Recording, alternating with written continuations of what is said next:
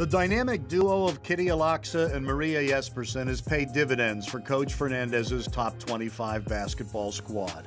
Both players are top 10 finalists in national award races for their respective positions, and USF fans will have the opportunity to vote for them if they make the final five.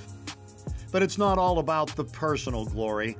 Their success stems from a coach who has developed his players to play as a team, and they take their championship attitude with them everywhere they go, whether it be the court, the weight room, or the classroom.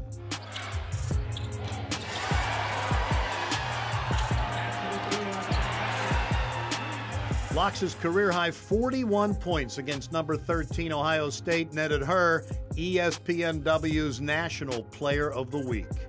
And I'm sure Charlie Creme would tell us that as well. Laksa, uh, count it! 41 points and a new career high for Kitija Laksa.